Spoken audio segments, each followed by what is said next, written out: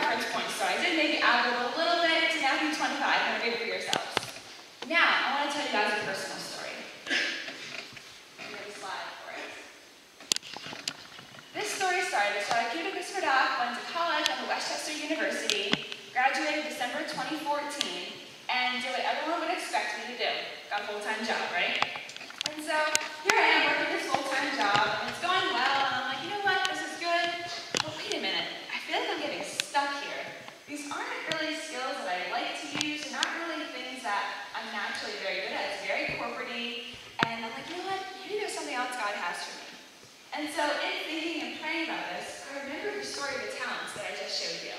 I thought, wait a minute, if they invested money talents, and God has given me personal talents, how can I use them to enter into God's joy?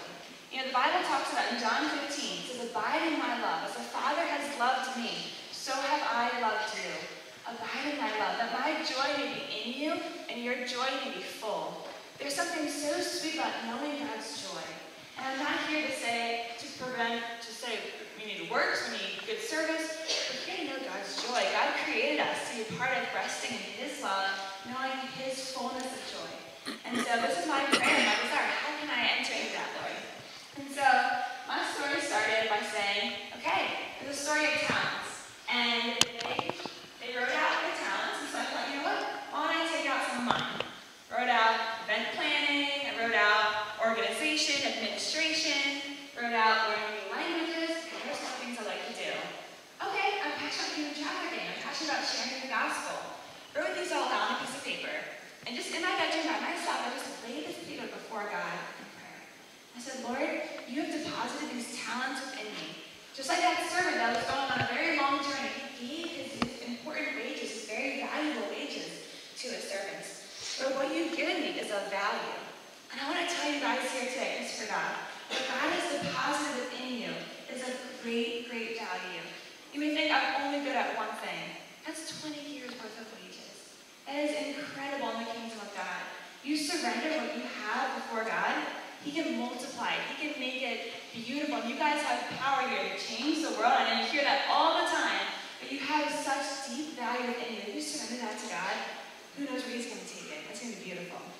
And so I did that same exact thing. I said, Lord, you put this within me. I want to surrender them back to you. If there's a place that you want to use them, that would invest them and double them and grow them, that I may enter your joy, that I can be found a faithful servant, Father, I just pray that you lead me to that. If not, I'm going to be faithful to keep coming to work. Know that my job, I'm a missionary, right at my job, even though it's corporate, even though I sit at a desk all day, I can honor you right here. And so either one, whatever you choose, Lord, is what I want. And so I said, you know what? I'm going to go on the computer. I pray and feel good about that. Time to start researching.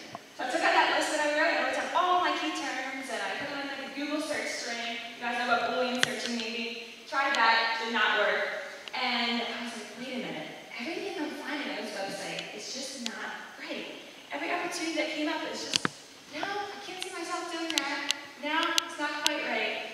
And so that's when I said, you know what? Can I close the computer? Lord, if you have something for me, a place where I can grow and invest and be a part of your kingdom, become faithful. God, I pray you give me a word of mouth connection. Pretty bold prayer, but I said, you know what, I'm not going to waste too much time researching. I can spend the next 30 days researching this and not find what you have for me. So that was said, Lord, whatever your timing is, works for me. Well, I waited two days. So two days later, I was waiting for a friend in town. She was running very, very late. Important note, someone's running late, take the opportunity to talk to someone next to you. So, started talking to this guy staying next to me, and I was like, hey, we graduated December 2014, started talking about post-college life, and I was like, hey, what are you doing in life right now? He was like, well, about to go on a mission trip, what about you? Like, wait a minute, you said mission trip? Can I ask how you got connected to that opportunity? Keep in mind, I was pretty good connection. And so he was like, oh yeah, that's easy. It's this organization called GoCorps. And I was like, okay, what's GoCorps? I've never heard of them. He's like, oh, cool, it's this Christian organization, pretty awesome. Their job is to help recent graduates find mission opportunities that use their skills and things they're passionate about. I was like, what? That's great, I didn't even existed. So, side note, it's for recent college graduates, but keep that in mind when you graduate college, it's an important place to check out. So I went to the GoCorps website, and I was like, you know what, Laura, I'm starting this to you. If you have something for me, that's great. If not, it's just a cool coincidence. But I'm on the website, and it turns out it's like Career Builder, but for missions. So there's this whole big list of mission opportunities in all different countries.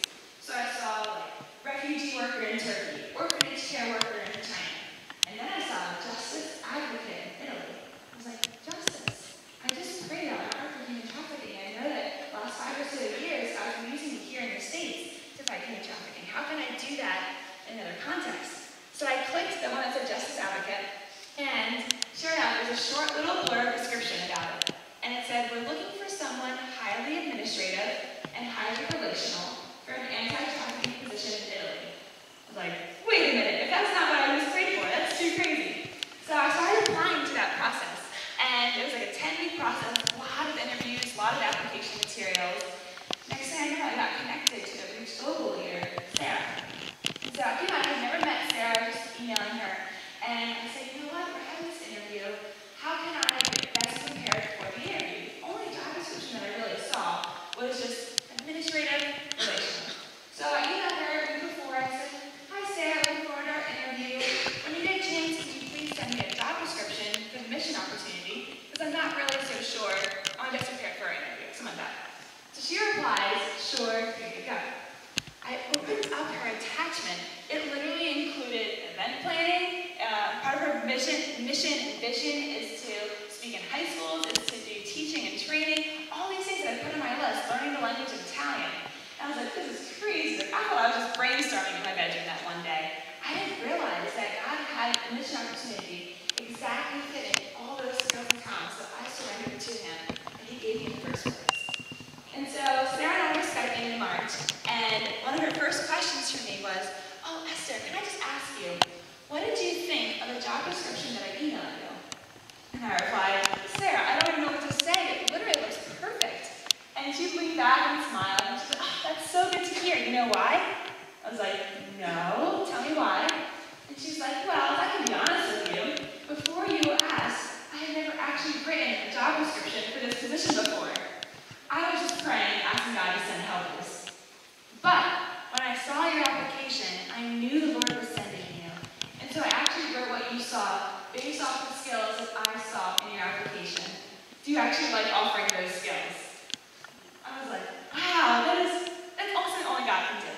And how did I come to that? By abiding in the Lord. God, each and every day that I have, I use it today? Here I am today. And it leads to this. And so just a little bit. So actually today's Wednesday. Next Wednesday I land in Rome. So my whole life is about to change and I'm about to be on a two-year adventure with, with using these talents and skills that God's been preparing me all my life to use. Using them overseas in Italy to serve the Lord, to share the gospel, and to set women free who are in human trafficking.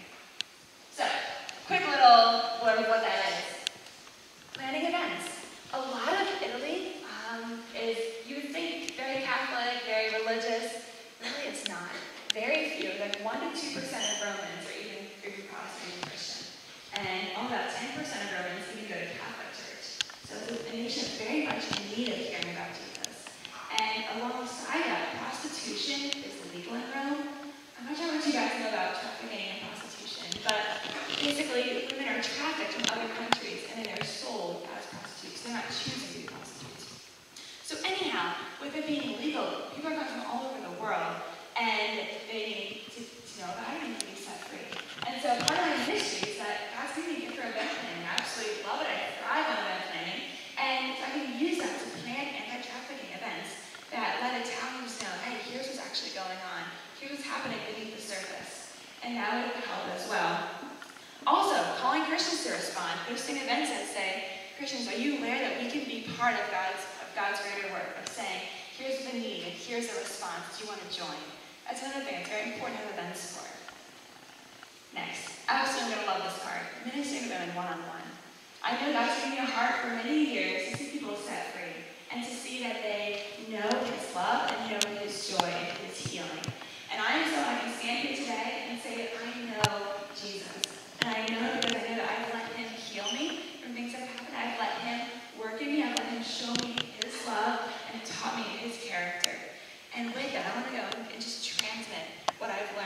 to those who are suffering and those who are in bondage.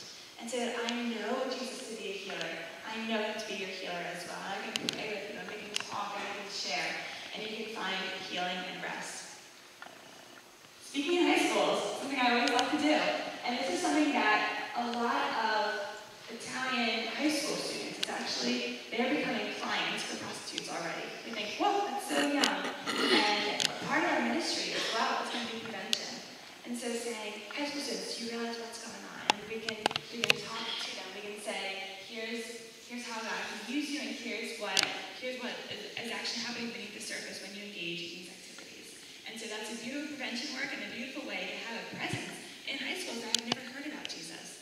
sharing